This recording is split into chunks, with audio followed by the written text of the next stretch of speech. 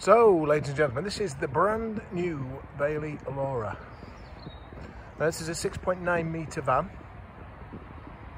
and seven foot wide. So it's a it's a narrower van, uh, great for those country lanes and easy driving on, on, on some of the British roads. Uh, these come with a big garage, come in three different formats. They come with a twin bed, and they come with um, a, a transverse rear bed, and they come with the island bed, which is what this one is. They're built on the Ford chassis. Uh, so let's go inside. This is really modern, great looking van. So if we go into the cab there, you can see you've got the uh, sat nav, the big screen sat nav there with Apple iPlay.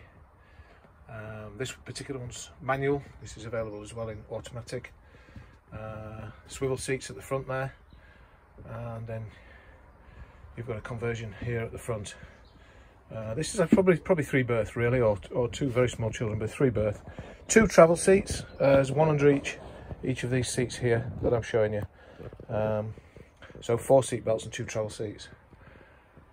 Then we've got the sink with the cover and the oven and hob.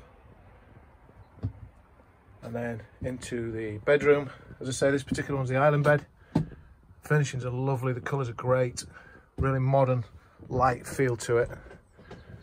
Uh, and then if I just show you the bathroom, uh, we've got a clever sink there that moves across above the toilet. There are photos of that.